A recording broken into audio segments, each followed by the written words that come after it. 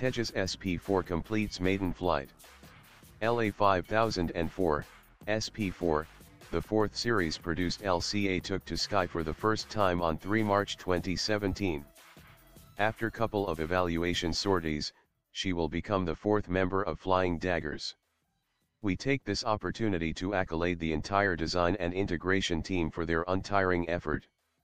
X-wind landing has been one of the toughest tasks in a fighter aircraft development program.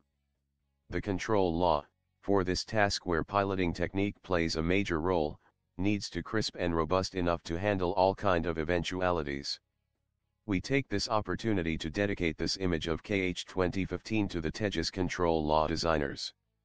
With Aero India 2017 now away from the radar, Team Tejas can get back to the bigger task in hand now.